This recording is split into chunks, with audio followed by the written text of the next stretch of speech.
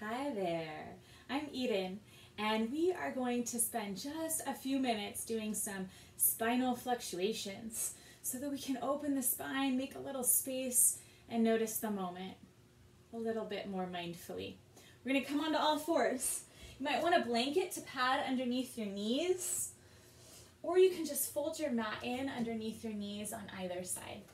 Line up your wrists under your shoulders and your knees right under your hips. Curl your toes under so your shins are lifted and you have that deeper connection all the way down to your feet. From here, inhale, drop your belly down. Lift your tailbone up, lift your heart up. And then exhale, lift your belly up. Round your back body up to the ceiling like a Halloween cat. Inhale, drop the belly low. Lift your heart up, shoulders up, butt up. Exhale, belly up, round the back body. Press the mat away from you, like that. Breath in through the nose and out through the nose.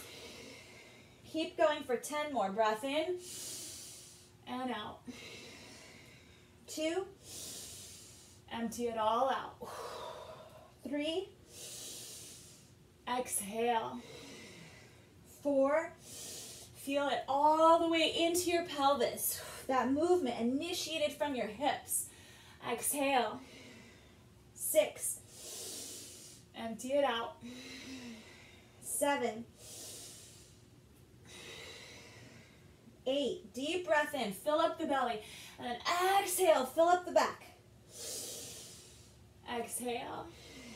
Two more. Breath in. And out. One more. Exhale. Go ahead and lift your knees up, down dog.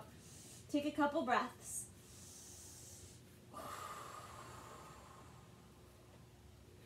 And walk your feet on up to meet your hands. Inhale forward here. And fold in. So right here, we're going to do a few extensions, just like that, from Ardha Uttanasana halfway to Uttanasana forward fold.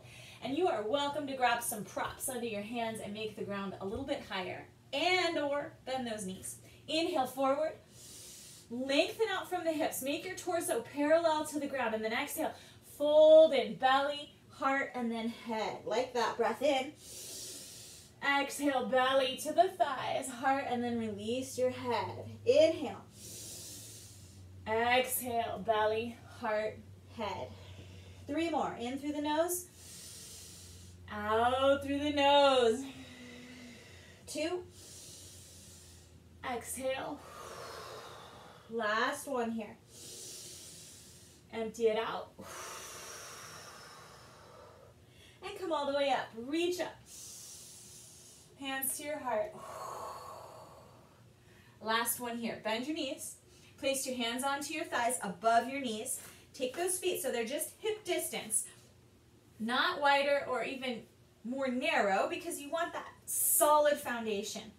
Bases of the wrist right on the thighs. You're going to inhale just similar to how we did on the ground. Tailbone up, heart forward, belly forward, chest out. And then exhale, tuck the pelvis, draw the belly into the spine, round the back, and lighten the load on the knees.